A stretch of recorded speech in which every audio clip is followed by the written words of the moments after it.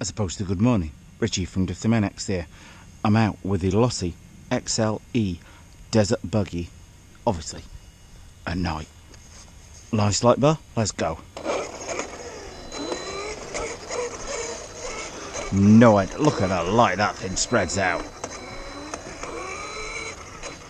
Now, no idea how this is going to come out on video. That thing is throwing out a massive amount of light though. Well, it had to be done. Now, there are key things I've got to watch out for. One is that immovable water fountain in there. No idea how this is coming out, guys, at night. The thing is still just as chuckable during the day, though. Uh, the night, though, as it is during the day. Dial the AVC down a bit so I can flick the back end and steer it a bit more on the uh, back end. Oh yeah, that's the kind of thing we're looking for. Like I no idea until I get in how much of this is uh, coming out well or not. Could just be a little flashing light going around in the dark there. That light bar though is awesome.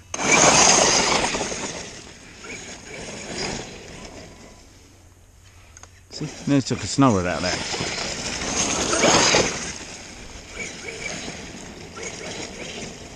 It is obviously at its best when coming towards one.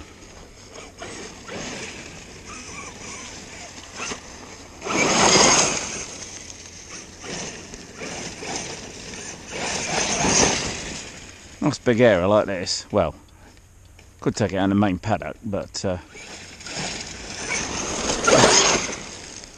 thing to bear in mind with this car is, luckily, it only gives you 25% in reversing. So you think, oh, there's something wrong with the reverse, but it's not. It's, it's just limited to 25%. We want 100% power with this amount of power. 8S on tap in reverse. You want 8S on, ta 8S on tap in reverse? I think not. Forwards, though, different matter. Be aware of what is around you. Particularly when you've got a uh, 30 pound plus car flying around like this. The steering radius is, uh, like I said, the X-Maxx would have it beaten on the steering radius.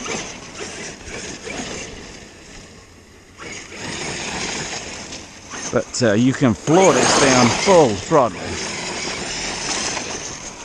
Stay well out the way. Ooh. I took my snowboard out there again. Don't want to do that. Ooh. I have no idea how this it shows that a mammoth amount of light.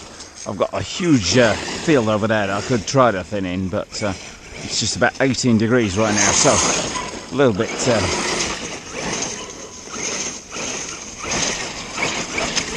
too close to that tree for comfort. Getting down this way.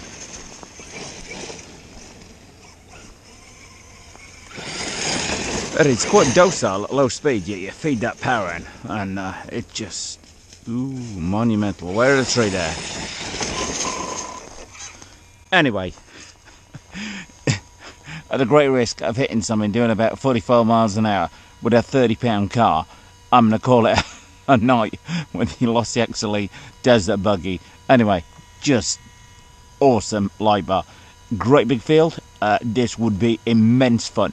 Uh, almost running out a little bit too much room here tonight. Don't want to go in the field. It's uh, just too damn cold. Anyway, if you like this video, want to see more of this car, please subscribe. And if you do subscribe, hit that notifications button. Hope you liked this video. If you did, please click on the circle image to subscribe. It helps if you want to turn on the notification button next to the subscribe button.